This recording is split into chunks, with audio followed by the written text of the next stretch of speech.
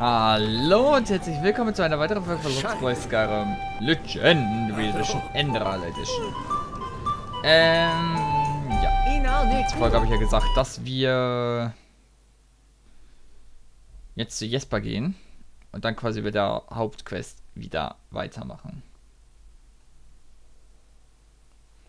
Diesmal, oh Gott, ich weiß gar nicht, wann das erste Mal war, wo ich aus Versehen diese Jesper-Quest gemacht habe. Das muss vor 10 Folgen oder so schon tatsächlich gewesen sein. Ja.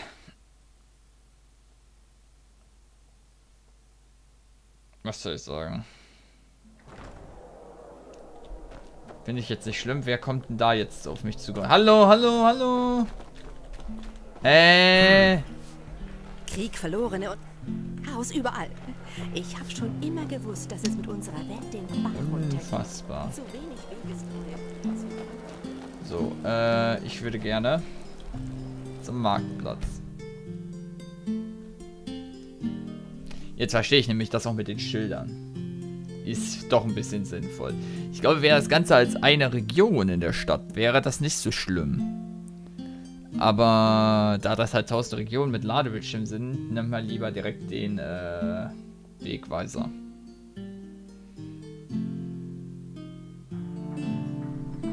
So. Jesper. Seht, seht, wer gekommen ist. Konntest du dich zurechtfinden? Diese Stadt kann ein Labyrinth sein, wenn man sie nicht kennt. Ich bin große Städte gewohnt, insofern... Ach ja, du kommst aus Ostian. Hätte ich fast vergessen. Sie haben etwas Faszinierendes, diese Orte, nicht wahr? Hier kann man hoch hinaus, aber genauso tief stürzen. Und überall pulsiert das Leben. Ja, das stimmt. Natürlich stimmt es. Hier, zieh das an und folg mir. Und ja, es ist notwendig. Vertrau mir einfach. Mhm. Ja, dieses Outfit. Es ist doch immer dasselbe mit diesen Männern. Aber ehrlich, immer schlimm. Na los, geht weiter. Jo. Ja, du kannst gerne weiterlaufen, wenn du willst. Genau. Und warum ist es Malfas, der den Sonnentempel auf dem Rücken trägt? Ist das nicht eine Geste der Knechtschaft? Nein, Malfas trägt den Sonnentempel, weil er auch die Menschheit trägt. Ohne die Güte und Erhabenheit der Götter wäre die Welt nämlich immer noch im Krieg, wie nach der Verwüstung durch den Sternenfall. Ihnen verdanken wir alles. Richtig. Die Götter herrschen nicht aus Gier nach Macht heraus. Ihr oberstes Bestreben ist die Erhaltung von Frieden und Stabilität. Ganz gleich, welche Opfer es auch von ihnen fordern mag. Führ dir das Tag für Tag vor Augen, Sohn. Und ehre den Pfad, den dir Malfas zugetragen hat. Nur so können wir uns für all ihre Güte erkenntlich zeigen.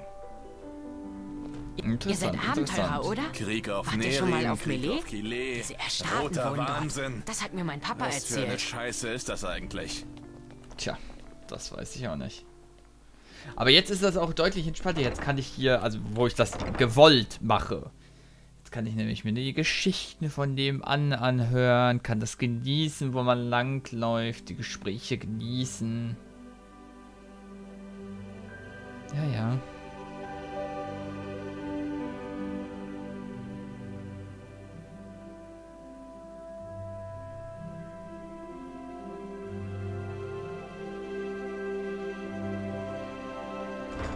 Oh. Uh.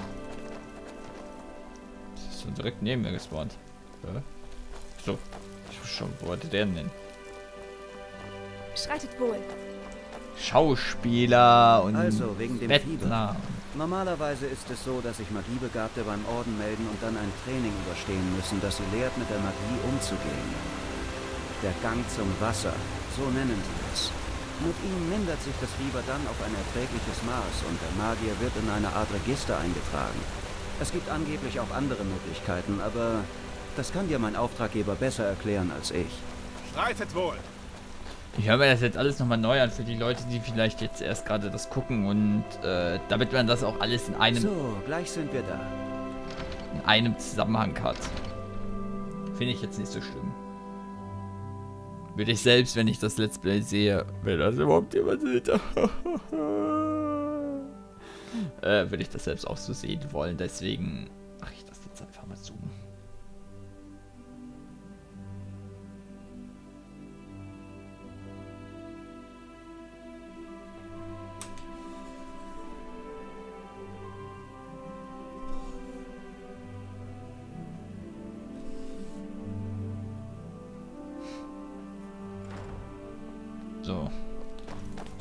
Ich finde das schön, dass hier das ganze Gemüse nachgewachsen ist so schnell. Du musst dich nicht umdrehen, du musst laufen. Vielleicht sprinte ich einfach nicht, dann komme ich nicht zu nah, dann passiert das vielleicht nicht so. Ich finde das jetzt auch interessant, dass jedes Mal andere Leute uns entgegenkommen. Vorher kam ja uns dieser Apothekari zum Beispiel entgegen.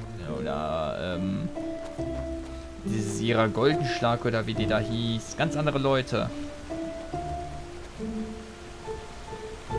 Heute haben wir die Familie, den Vater und den Sohn getroffen. Da ist die Schauspielerin an uns vorbei. Halt, Mayser.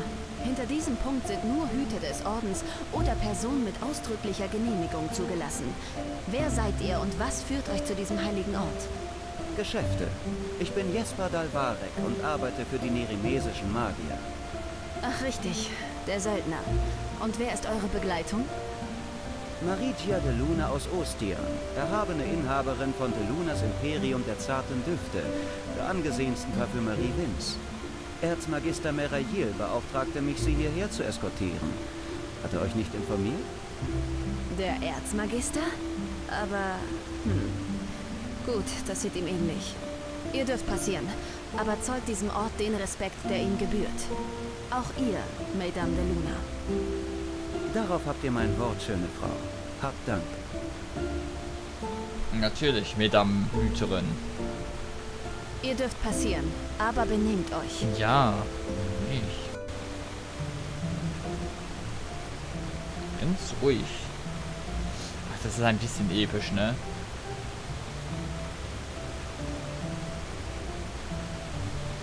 Das ist schon ein bisschen episch, so. Jetzt ist nämlich hier erst diese Option freigeschaltet, dass man hier rein kann. Klar, sonst hätte man vorher natürlich Sachen, äh, das wäre blöd gewesen.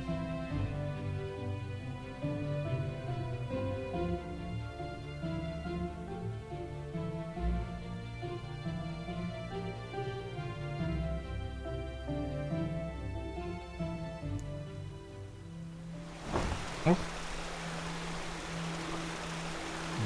Ritzen. Das lief ja besser als erwartet. Maria de Lunas Imperium der zarten Düfte? Hey, es hat funktioniert. Keiner wird jemanden verdächtigen, der bereits im Tempel ist. Mein Auftraggeber ist im Chronikum. Halt dich von den anderen Gebäuden einfach erstmal fern. Den Rest improvisieren wir dann. So, jetzt vielleicht ein paar Worte darüber, wohin ich dich eigentlich bringe.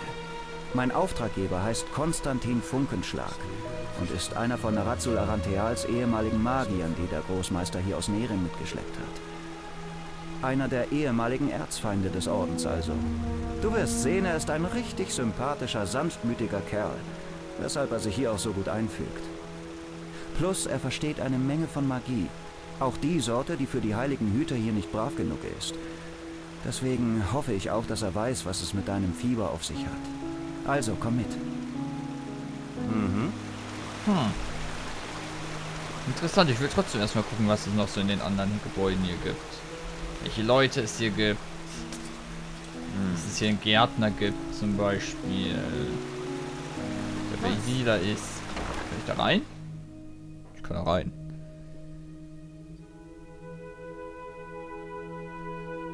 Weil ich will natürlich auch den Sonnentempel erkunden. Ne? Das eigne ich mir jetzt einfach so. Wer seid ihr? Ihr gehört hier nicht her. Was? Ich muss hier hin. Du bist mein Licht, mein Schimmer am Horizont. Dein Name ist mein Sakrament und deinen Pfad will ich ehren. Im Leben und im Tod. Äh, hat er gerade seine Egellippen hochgeklappert oder was? Oh, oh, oh. Hallo. Moment mal, ihr... Ach, einerlei. Was ist? Ach, ähm, Ihr seid doch aus Kyra, nicht wahr? Eure Haut, sie ist, naja, anders. Warum fragt ihr? Nichts Schlimmes, keine Sorge.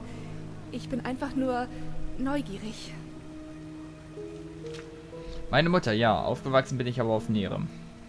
Nerem. Verstehe. Aber trotzdem, eure Mutter muss euch eine ganze Menge über ihr Heimatland erzählt haben. Ist es wahr, dass ein Kind auf Kyra mindestens fünf Väter und vier Mütter hat? Das hat ein alter Matrose mal erzählt. Ihr lebt in Zirkeln, nicht in normalen Familien. Davon weiß ich nichts. Ich, wie gesagt, ich bin auf Nerem groß geworden. Es gibt solche großen Zirkel, ja, aber nicht alle. Das ist auch eine, ein Teil koreanischer Kultur. Stimmt. Es gibt auch noch diese Philosophenschulen und den Hof der Goldenen Königin. Naja, habt Dank für eure Zeit. Ich muss nun weiter. Schreitet wohl. Vielen Dank. Oder bitte, oder wie dem auch sei. Okay, hier geht's zum Tempel. Wer seid ihr? Ihr gehört hier nicht. im Sonnentempel. Dieser Avantia ist so ungewöhnlich. Mir ist das. Das muss man ihm lassen. Ja. Könnte auch mit. Die war doch noch irgendwie so eine Special-Person. Emporium. Gehen wir aufs Emporium. Das ist nur ein richtiger Laut. Gut, dass ich einen Schutz habe.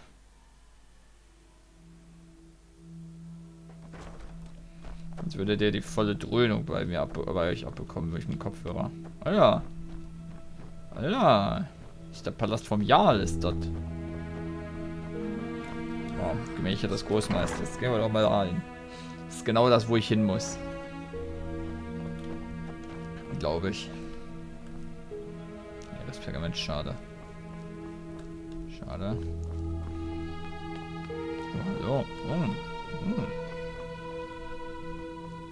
Ob die hier zu essen haben? So richtig schönes, tolles, leckeres Essen? Wir haben ja nur Teller. Teller bringen natürlich nichts. Schade. Die haben nichts. Äh. Schade.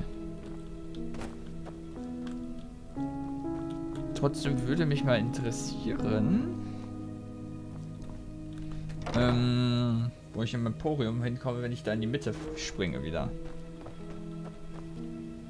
Was da ist hier genau. Hallo. Wenn ich mich, auf, mich hier auf den Thron setze. Was ja scheinbar niemand zu interessieren scheint. Das Erbe der Pyrea. Oh. Scheint ja ein wichtiges Buch zu sein. Nehme ich mal mit, ne? Ach, guck mal, hier ist eine Karte. Enderal ist diese kleine Insel da oben. Wir, sind komplett abgeschnitten. Sieht diese Karte auch so aus wie bei uns? Äh.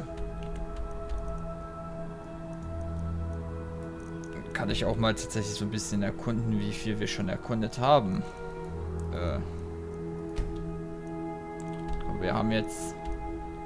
Ich würde sagen, das ist hier ja vermutlich größtenteils unwegsames Gebiet. Größtenteils. Hm. Ja, ein Drittel haben wir, würde ich sagen, ne? Hier der ganze Teil fehlt noch.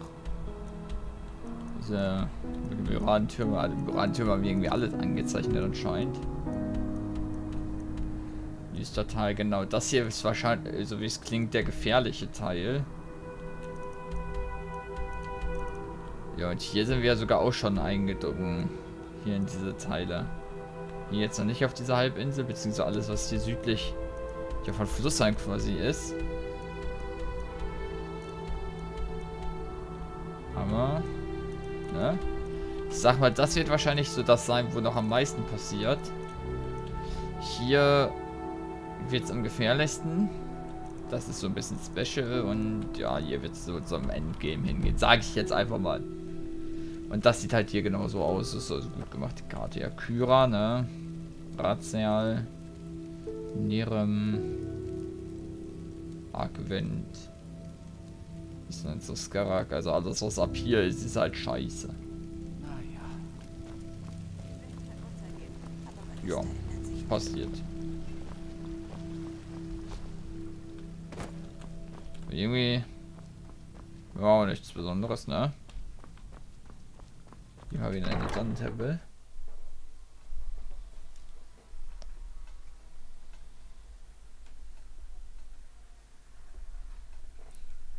Denn es ist alles von Hohn.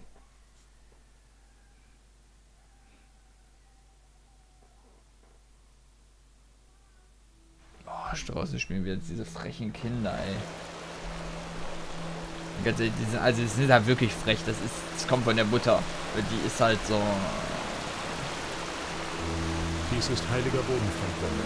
Er gehört nicht hierher. Sowas, da muss ich halt nichts zu sagen. Das ist das letzte, wo ich hingehe, dieses große Ding. Was ist da oben?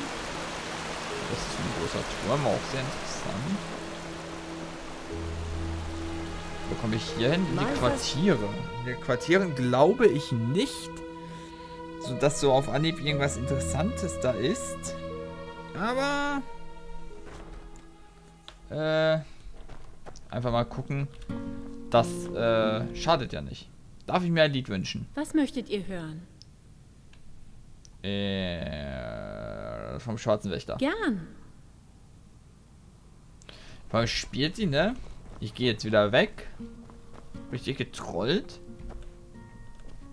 Die Schatulle ist leer, schade. Hier könnt ihr eigentlich richtig gut so alles klauen für Hehlerware, ne?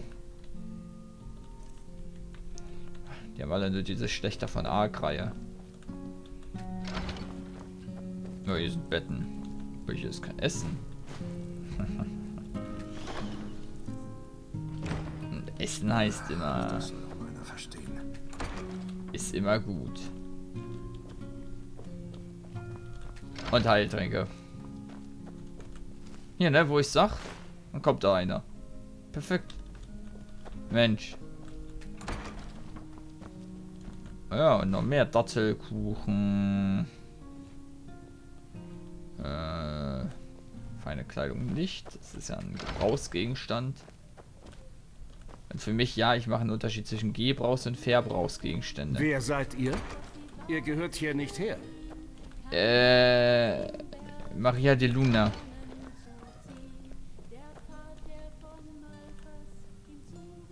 Mana-Trank. Hm. Das lohnt sich nicht. Huch. Mein gebratener Lachs. Äh. Einfach so, ich beklaue ja jedes Zimmer mit Essen, die haben einfach nichts mehr. Ah, okay, die sind alle reich, ne? Na, reich, ich mache hier die Robin Hood quasi. Als ob die mich nicht gesehen hat.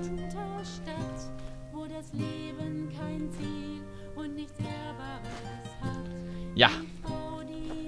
Sage ich nichts zu.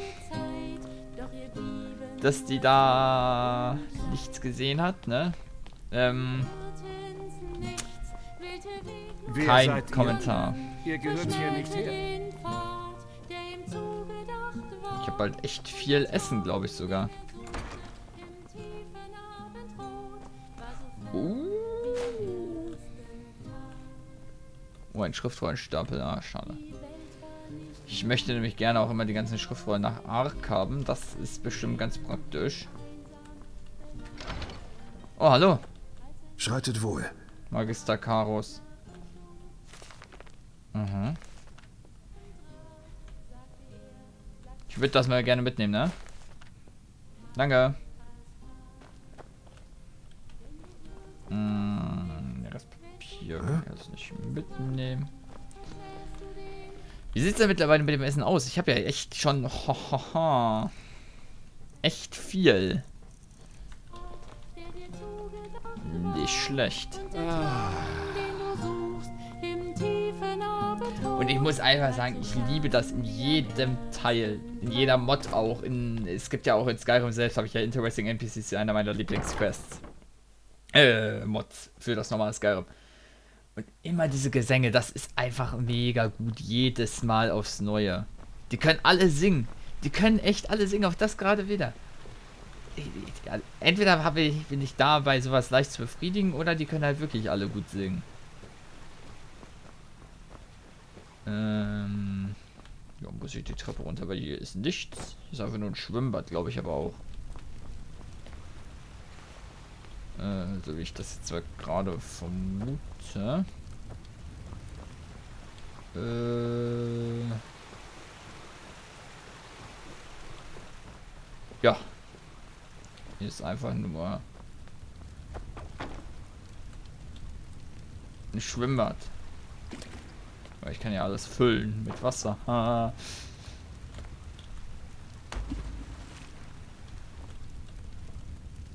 Ne?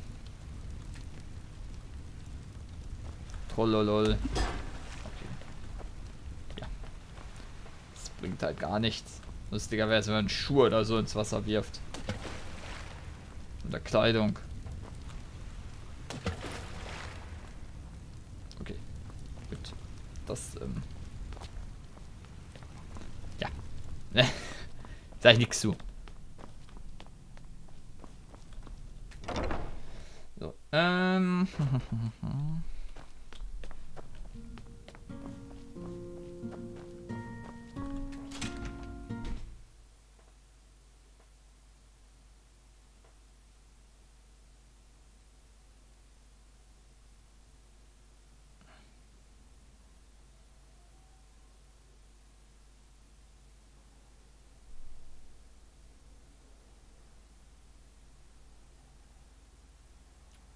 Äh, ich bin still, weil es nichts passiert. So, äh, huch, was ist wieder hier? Ach, hinten rausgekommen, ah, okay. Verstehe. Äh. Sonnentempel Chronikum Archiv. Dies ist heiliger Boden. Ich möchte. Also, der ne, Sonnentempel wird jetzt auch gerade wieder über länger, bis ich da hingehe, weil, ähm. Will ich halt auch in 1 durchmachen. Ähm.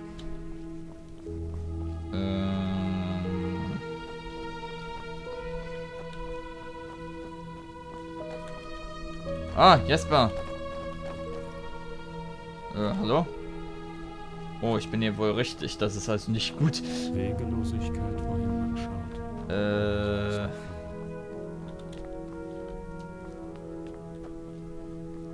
Äh, wo war denn der Eingang? Ist hier? Perfekt. Wieder raus. So, oh, hier ist eine Sackgasse.